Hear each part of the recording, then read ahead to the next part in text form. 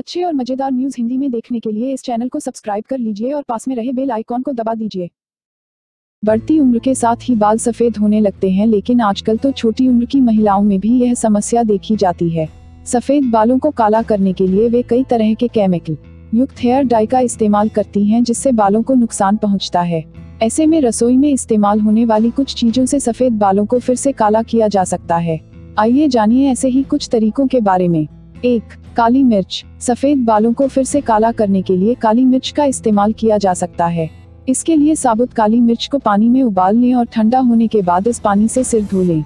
हफ़्ते में दो ऋण तीन बार। ऐसा करने से सफ़ेद बाल काले होने लगेंगे। दो, कॉफ़ी। इसके लिए कॉफ़ी या चाय पत्ती को पानी में उबाल लें और ठंडा होने पर इससे बालों को धोएँ। दो दिन लगातार ऐसा करने से सफ़ेद बाल फिर से काले हो जाएँगे।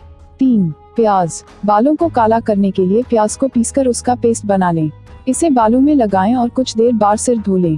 दो दिन इस पेस्ट को सिर में लगाने से बालों में चमक भी आएगी और वे काले भी हो जाएँगे। चार, दही। हरी। मेहंदी में दही मिलाकर पेस्ट बना लें और बालों में लगाएँ। एक घंटे के बाद बाल धो लें। इस उपाय को पूरा हफ़्ता बालों में लगाने से वे काले हो जाएँगे। पाँच, कड़ी पत्ता। कुछ कड़ी पत्तों को पानी में डालकर एक घंटे के लिए भिगोकर रख दें और फिर इस पानी से बालों को धोएँ। रोज़ाना ऐसा करने से सफ़ेद बाल दोबारा काले होने लगेंगे। अगर आपको ये वीडियो अच्छा लगा तो लाइक कीजिए और कमेंट में अपने सुझाव दीजिए।